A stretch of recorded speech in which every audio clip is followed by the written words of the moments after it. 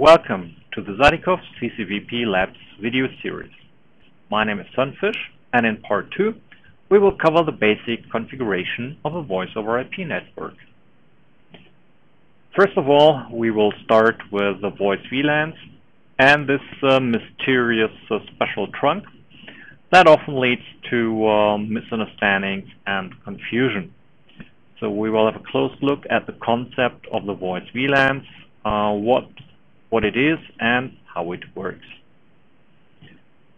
Then Power over Ethernet, the three flavors that are currently out there, followed by DHCP. The basics of DHCP um, are covered in the uh, CCNA curriculum, so uh, you should be familiar already with uh, what DHCP is, how it works, and also how to configure uh, DHCP um, on an iOS device using this uh, Java-based GUI, the uh, SDM tool.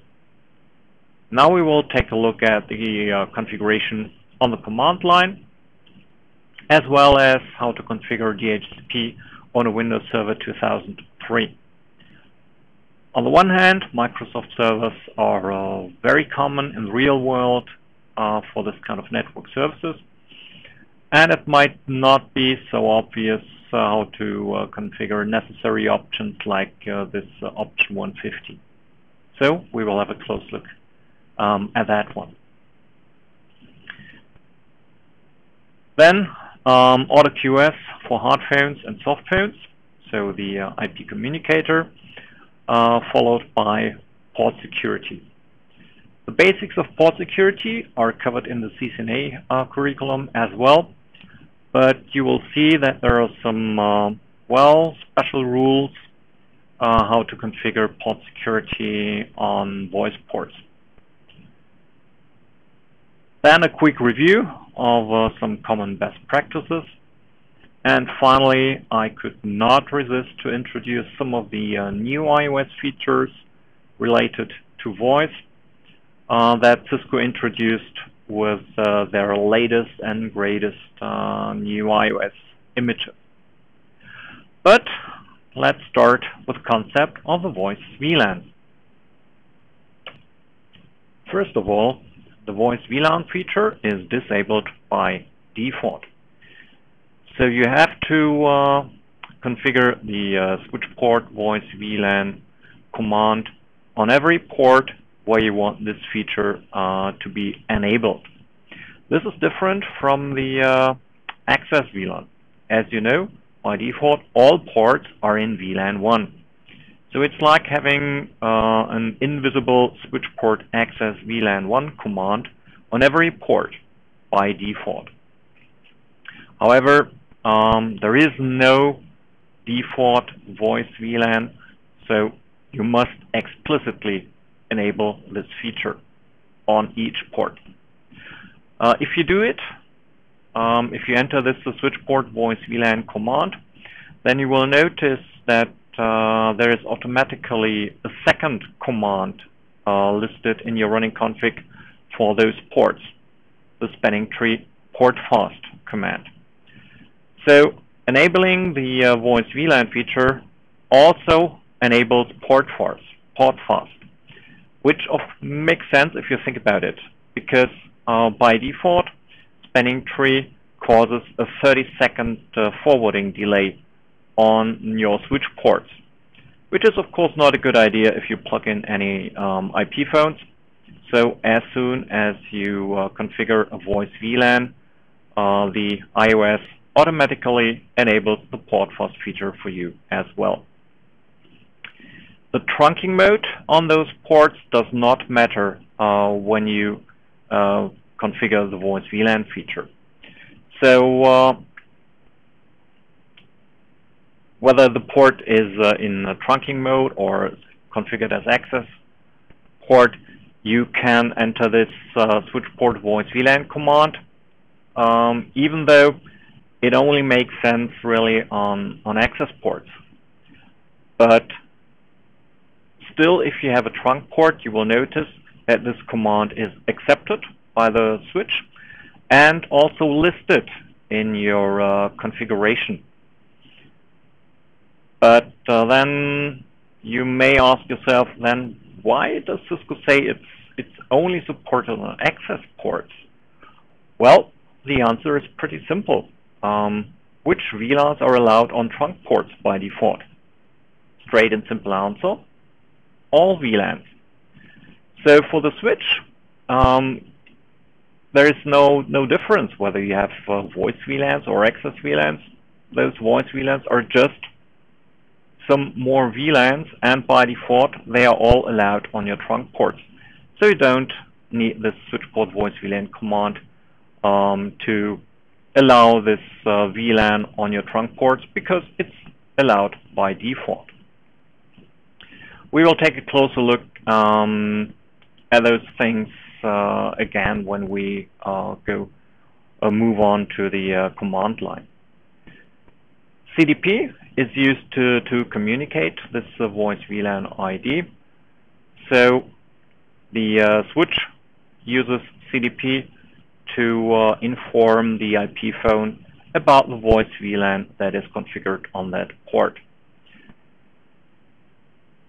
As you may know, CDP is also used for a, a, few other things, um, like uh, power consumption. So on the other hand, the IP phone uh, uses CDP to tell the switch uh, the power level that he would like to uh, receive.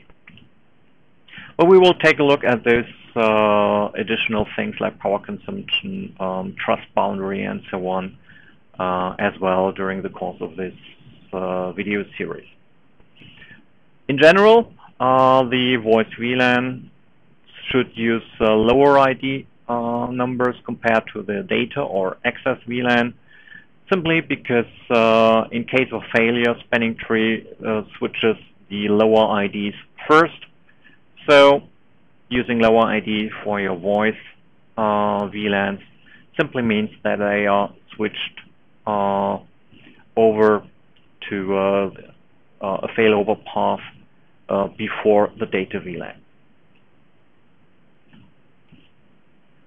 Once you enable the voice VLAN, you create a special trunk between uh, the switch port and the IP phone, which is also often called a pseudo trunk or a mini trunk. In some older Cisco documentation, I also found the term multi-VLAN access port, which describes this uh, connection pretty well. Because we have indeed an access port, but now two VLANs are allowed on this uh, access port the voice and the data VLAN. All the traffic in the data VLAN remains untagged. So uh, a PC connected to the IP phone uh, sends and receives the standard Ethernet frames, just uh, like we expected from uh, any any access port. However, all the voice traffic gets encapsulated um, by the IP phone using uh, .1q. So we are indeed using this uh, trunking protocol um, on an access port in order to uh, separate our data traffic from our voice traffic. If you do a show interface trunk, you will notice that those ports are not listed, just as we expect from uh, any access port. Um, on the other hand, if we do a show interface status command, we will see that uh, those ports are now listed two times.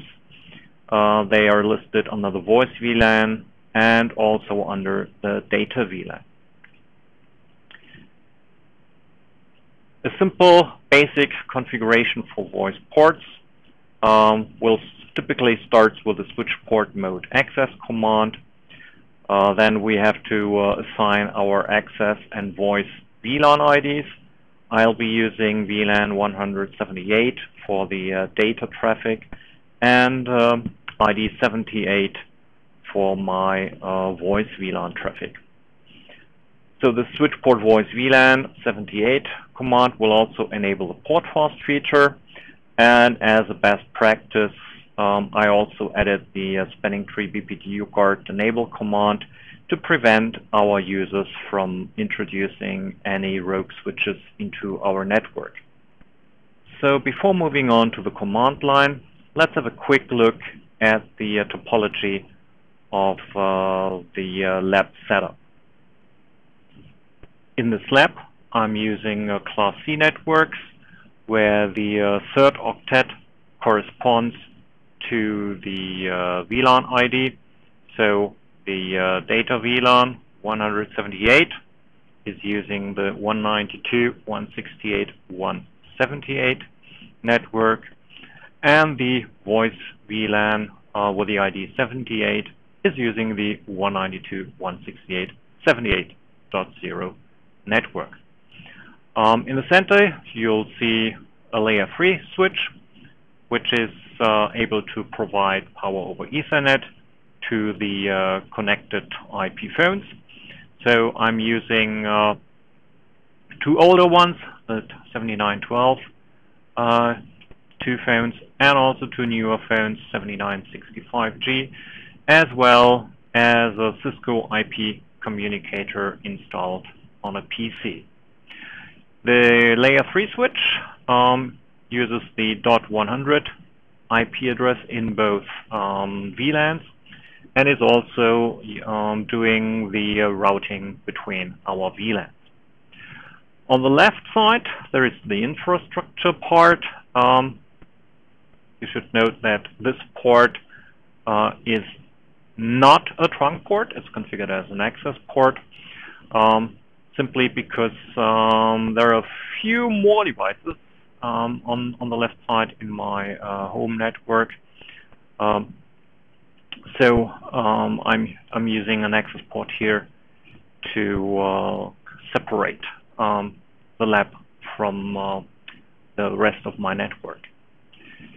The server is uh, providing the usual uh, network services, DNS, DHCP for the uh, data VLAN as well as NTP.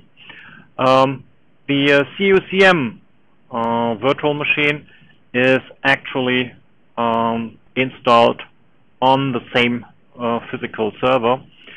So uh, um, this uh, machine here is a virtual machine on the .10 server. And then finally, um, there is uh, another PC connected here. Uh, that's the one I'm using for the recording. And later on, um, I will use this PC as well uh, to install the Cisco IP communicator um, for some demonstration. So enough said, let's move on to the command line of our switch.